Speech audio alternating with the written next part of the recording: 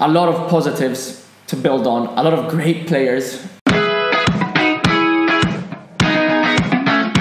Hello, everybody, and welcome to another FIF TV video. I'm Dov, he's Vieri, and we're Hello. going to talk about Lazio today. There we go. But first, as always, as you're probably used to it by now, go and click on the link below and buy some things from the FIF shop. Lazio fans, we've got Giorgio uh, Chinaglia stuff. Yeah, Kinalia. Lovely. Kinalia, there you go. Well, he used to play in America, so they say cheers. So there you go. But it's in the description, um, and you can buy things with him on it. He's a legend, of course. I had that from a Lazio fan who told me that. He, he absolutely is. Um, and this season could have been legendary for Lazio, Could have been, but but it wasn't. it wasn't. or not as legendary. Um, Right, so where, where, where do we start? Should we start at the end? we have to start from the end because, in the same way as Inter's season and judgment was defined by that moment, that Vecino goal, Lazio's is as well, inevitably. What went wrong? What I think Lazio screwed up. They, they, they basically they, they were two one up with ten minutes to go. There's there's no way in hell they should have lost that game. At home. No way in hell. At home as well. No way in hell they should have lost that game. And then De Vrij, whether he should have played or not, is up for debate. Giving away the penalty, which was then the catalyst for Lulic being sent off, which was then the uh, even bigger catalyst for Vecino's own goal, which put Lazio under the cosh. So it's kind of like a a circle of things, kind of the, our chain reaction of this happened, which led to this, which led to this, which What, led to what that. has to be said is that they definitely were the most consistent team, I'd say, Hmm. uh, of the ones fighting for a Champions League spot. We've said that all season that there, there hasn't been a time where Lazio have been poor over a continue a, a Yeah. long period of time. They've been a poor game here or there, but in general they've always been. They played good football, um, exciting attacking football, best attack of the league, Mm. best ever attack in terms of amounts of goals scored by Lazio in the in the history of Serie A. A lot of positives to build on, a lot of great players, uh, you know, being shown. So it's just a shame that you know they, they bottled it in well in two main games against Salzburg in the Europa League League, and yeah, against well- Inter. well, exactly because in that Europa League they could probably have got to the final if they'd beaten Salzburg, and then obviously And it would have been one of, one of the favourites. yeah, and then obviously with Inter they should be in the Champions League. I think their fans. No, this is why everybody in the this is why football's great because you, you know strange things um, happen. Who were the, the, the key players? Well, you, you, It's you- difficult. Well, you mentioned the attack, and that's where we'll start. Ciro Immobile smashing loads of goals. Well, Capocannoniere, 29 goals. and Luis Alberto. No, Also, Capo, wait, let me say, Immobile also top scorer of um, the Europa League with eight. there you go. That's eight and 29. It's already 37. Yeah, smashed it. And Luis Alberto. Biggest biggest man. surprise of the season for me in Serie A. Nobody expected anything from him. Obviously, he was there at Lazio last season, didn't play. Nobody like thought, no, who is like this guy's not doing anything. And then just switched yeah, on. just- Yeah. Yeah, it was brilliant. Um, probably, I, I want to say the discovery, but the guy who's getting a lot of plaudits is Sergej Milinkovic Savic. Yeah, I mean- he's the hundred million pound guy. He's the guy all the teams want.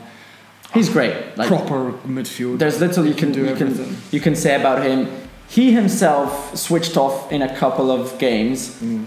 Um, you could argue that even against Inter, he was amazing for 65 minutes and then kind of disappeared.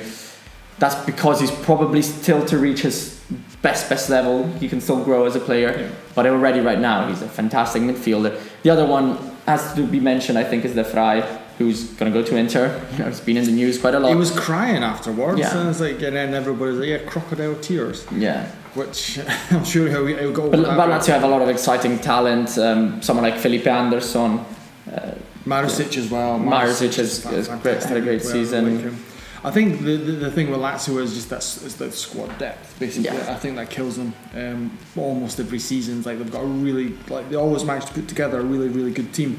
Lucas Leiva, we didn't mention him as well. He- Yeah, he's he, well considering they sold Biglia and Mm. brought in uh, Lucas Leiva. He was definitely one of the yeah, key men. Exactly, Biglia was not missed whatsoever. So I mean, there's you can kind of go through that whole Lazio like first eleven and just see.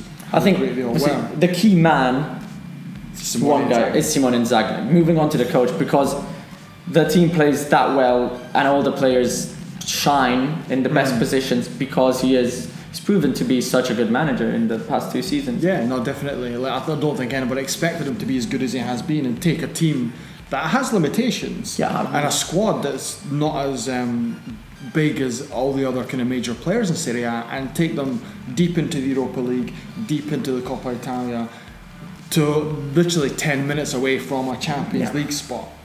And I think that he deserves immense credit for being able to do that, losing their captain in the summer as well, Biglia, like Yeah. we mentioned. Um, and I think was, I think he's been ama- amazing for me. He was coach of the season.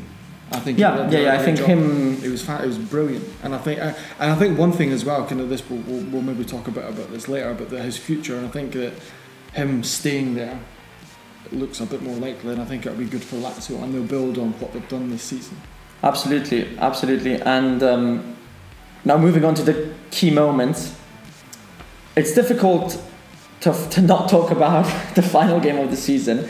Uh, and um, but let's not forget what the, some victories, some key victories for Lazio as well. Thinking when they beat Juve, uh, Juve in Turin, in Turin. Torino, which is amazing, which doesn't happen very often. I think only like two or three teams, well, three teams like Udinese have done it, Lazio have done it, and Napoli have done it in the last like five seasons or something like that. Sampdoria, Sampdoria, right?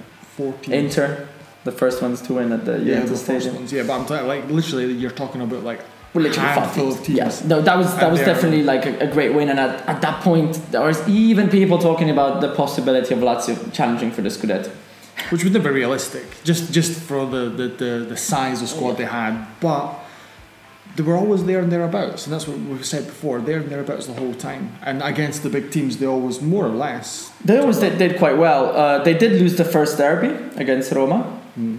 and uh, and then obviously you know you look at the Salzburg game, the Inter game, uh, two games that were very similar. Lazio dominant for 60, 70 minutes, and then bottled it. So you could question what's going on in the heads of some of the players. Well, even the pressure, they're not used to playing at that level, not consistently.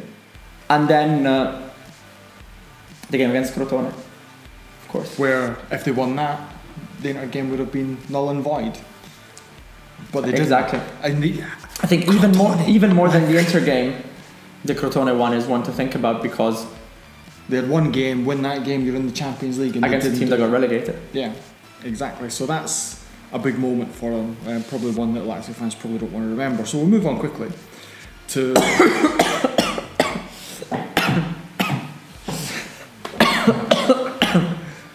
I just really hit the cough. I tried, I tried to like drink a bit of water. Yeah, I know, I agree. start.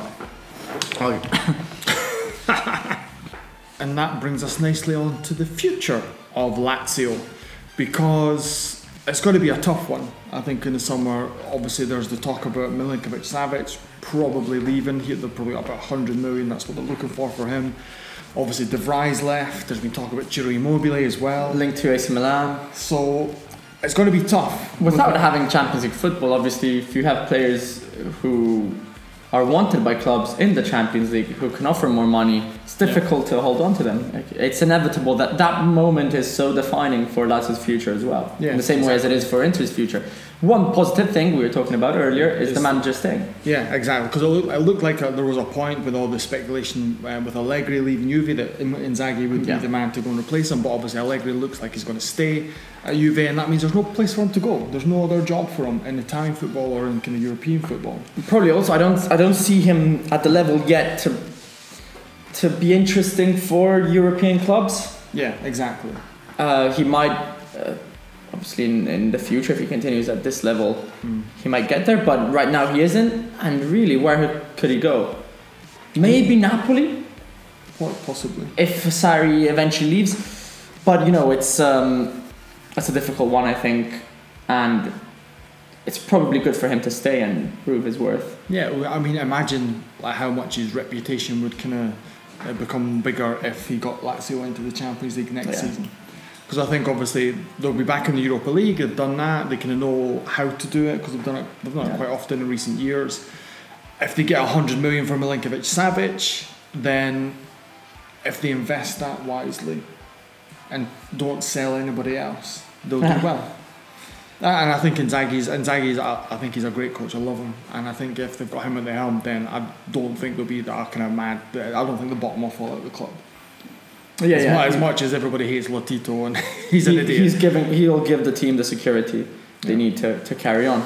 There we go. Right, so that's Lazio done. Everybody, let us know what you think about Inzaghi as a coach. Do you agree with me and think he's the coach of the season, or do you think he's just been fortunate? Like, what do you think? Uh, what do you think about Lazio losing it in the last game of the season as well in the last ten minutes? What do you think about that, and what does that tell you about Lazio? So, until next time, or actually, wait, before next time, you need to go and follow us on social medias Twitter, Facebook, Instagram. Links are all in the description as well. And go to the shop and go to forzaitalianfootball.com too. So, until next time, there's nothing left for me to say apart from arrivederci.